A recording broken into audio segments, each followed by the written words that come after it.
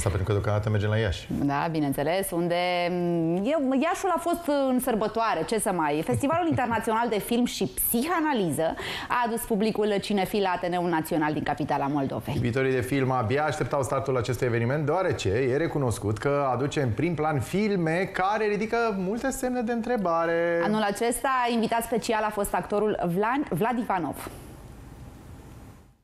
Un astfel de festival internațional de film a fost posibil doar datorită echipei care a lucrat cu multă dăruire la organizarea acestuia.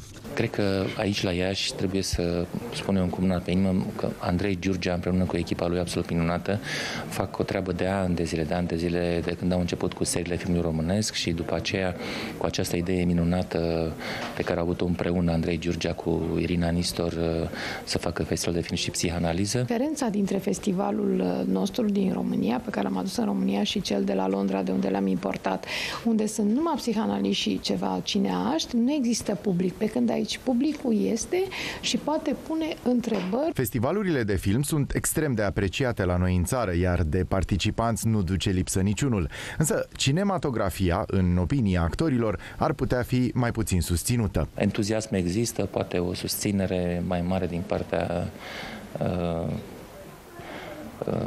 știu, celor care se ocupă fonduri, nu știu, ceva în sensul ăsta.